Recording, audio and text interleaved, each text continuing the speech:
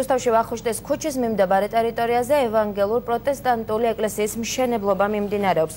სამშობლო გასული წლის ზაფხულის ბოლოს დაიწყო და ამ ეტაპზე გარე ფასადი მუშავდება.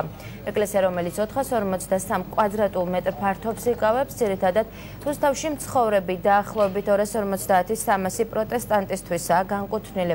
აღნიშნული ეკლესიის მშენებლობა ორი თვის ვადაში დასრულდება.